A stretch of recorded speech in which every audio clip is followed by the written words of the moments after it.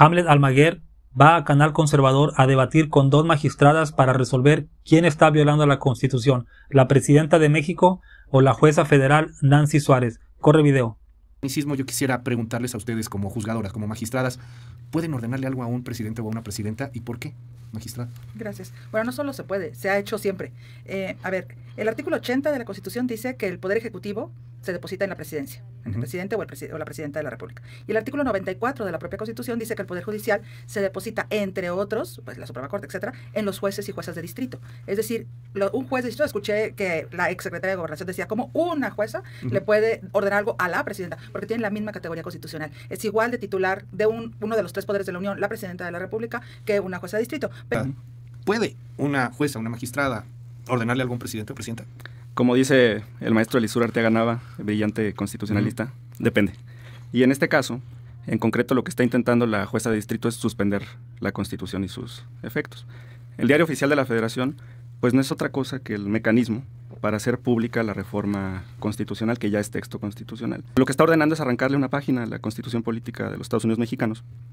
Y en ese sentido, pues por supuesto que no puede dar una instrucción de ese nivel, a la presidenta constitucional del país, quien juró guardar y hacer guardar la constitución, y es lo que está haciendo porque este ya es texto constitucional.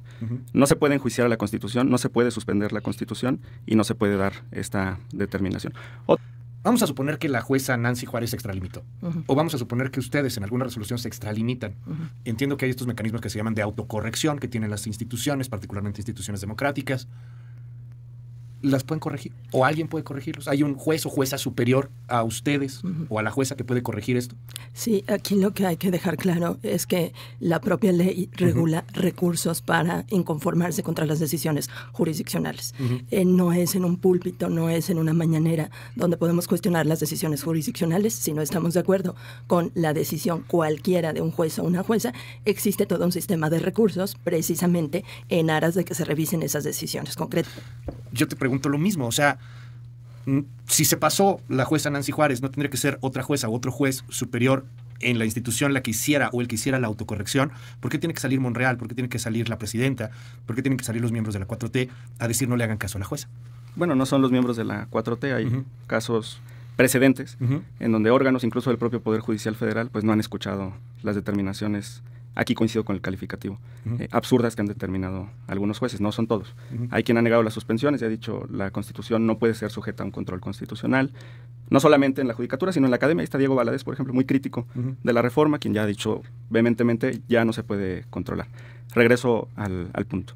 Eh, un juez de distrito, o quizá una jueza, no, recuerdo el género, ordenó al Consejo... no, no, es este caso. Ah, Voy al... Sí.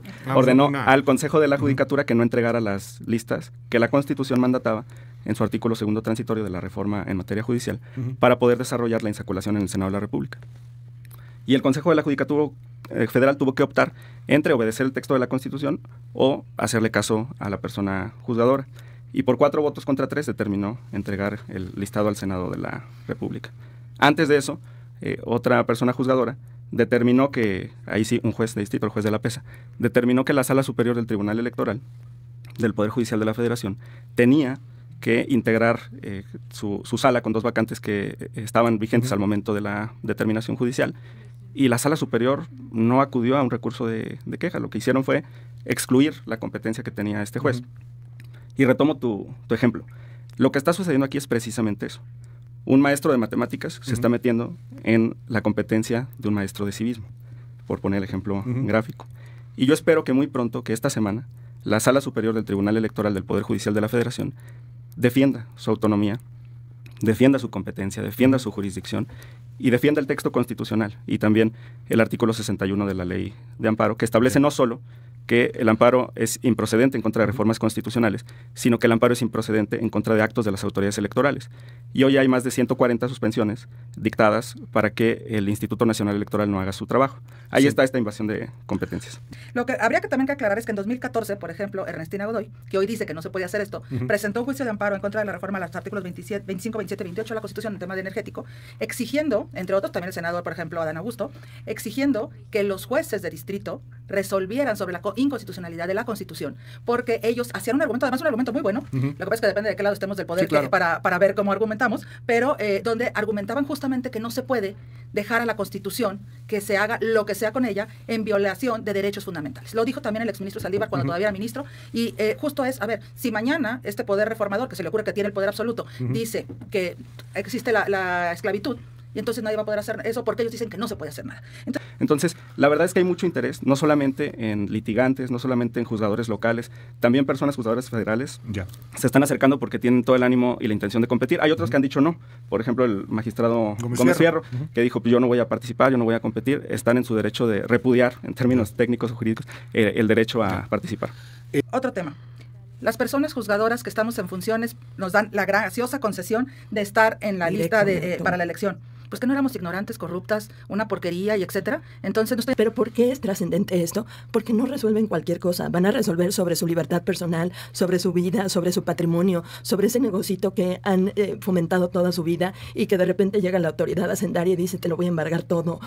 Y en la reforma se le dio autonomía a la Escuela Nacional Judicial. Entonces ahí vamos a tener una formación eh, permanente. Entonces yo invito a que no, no pensemos en escenarios pesimistas. Eh, este texto constitucional va a tener buenos resultados. Para concluir. Todos, porque el juicio de amparo lo que conoce es de la violación de derechos humanos por parte de las autoridades.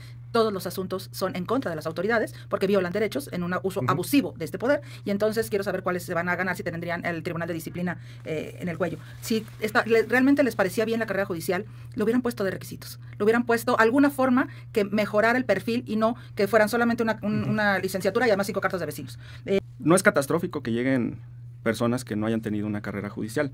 Les pongo el ejemplo de dos muy buenos ministros de la Suprema Corte de Justicia de la Nación que han llegado sin carrera. Uno fue el último ministro de mi estado, de Jalisco, Sergio Salvador Aguirre Anguiano. Eh, lamentablemente ya falleció hace cuatro años. Un hombre profundamente conservador, de derecha o ultraderecha, diría yo. Eh, pero no puedo negar que tenía capacidad técnica.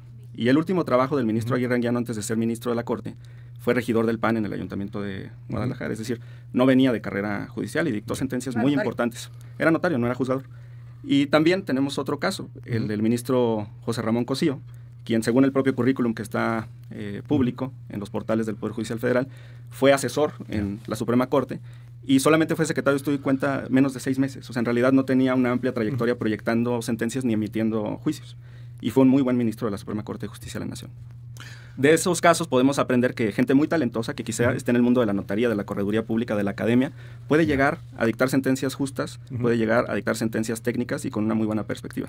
Gracias, Hamlet, y gracias. También puede llegar Lenia, más para También puede llegar Lenia. Esos son temas internos del Poder Judicial. No, lo nombró el presidente. Bueno, sí. 5571 eh, curiosamente hay muchos comentarios, digo curiosamente, porque es un tema muy difícil y, nos, nos dicen, nos, gran Lenia Batres, gran académica. No, no, no, Loreta, ah, directora de la Facultad de Derecho de Ibero, su libro de Derecho Internacional Privado lleva como 12 ediciones editado por fue una gran académica. y, y, ministra, digo, bueno, alguna cosa es ser académico y otra ser ministra, pero bueno. Dicen aquí, eh, Hamlet Almaguer solamente brilla cuando le pones ignorantes frente a estas mujeres. Hamlet se había muy limitado, dicen aquí eh, las personas. Respetos. Este, acceso a la justicia, por Dios, jamás hemos tenido acceso a la justicia. Solo los que tienen dinero tienen ese acceso. Eso es cierto. Eh, sí, aquí me llama la atención que casi siempre en todos los, en todos los medios ponen a uno de Morena y contra dos opositores. Y aquí otra cosa que me llama la atención y por eso yo no estoy con el Poder Judicial, no estoy con ellos, es porque estas dos eh, magistradas, que merecen mi respeto como personas, están, eh, se están posicionando políticamente. Mira las críticas que lanzan, ¿no? Sobre Lenia Batres, sobre, sobre Loreta, Loreta Ortiz. Si fueran objetivas ellas y no tuvieran un sesgo político, también habrían hablado de Laines. Laines entró directo, no tiene carrera judicial. Ese señor, este, Luis María Aguilar era un mecanógrafo y metió a su hija dentista a trabajar. ¿Cómo es posible que una dentista esté trabajando ahí en cosas que le corresponden a los, a los, a los jurispeditos, ¿no? Por ejemplo, también Hamlet habla de que, Hamlet habla de cómo maestros de matemáticas se quieren meter a dar clases de civismo. O sea, el hecho de que tú seas jueza, juez, no te da derecho a hacer lo que quieras e impedir. Eso, eso se llama, es una mafia. Entonces, eh, a, los mismos mensajes lo dicen ahí, los, jóvenes, el, el, el, conductor está leyendo los mensajes de la ciudadanía. Ellos pueden claman tener la, razón y las invitan a todos los, a todos los opositores, los invitan a todos los, los lugares a decir que está mal la 4T, está muy padre, pero salgan a, la calle y pregúntenle con un papelito y un, lápiz, está en dos columnas, ¿estás de acuerdo o no? O nos quieres como Poder Judicial, tenemos tu confianza. No, no los queremos.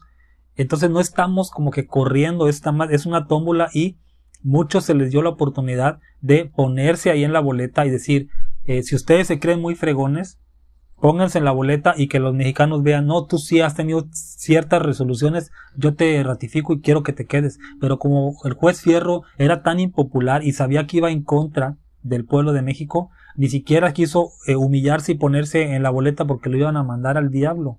Y así se tienen que saber esos jueces, los que saben que han hecho mal y que se creían dueños del poder judicial que no les pertenece a ellos, no les pertenece, porque se ponen ahí como que la carrera judicial fue, fue, este, se, se cortó de tajo, no, no había carrera judicial, 89% de los jueces llegan por pase directo por nepotismo y el 11 solamente el 11 llegaba por, eh, por, por, por mérito. Ya te, ya te hablé de Laines.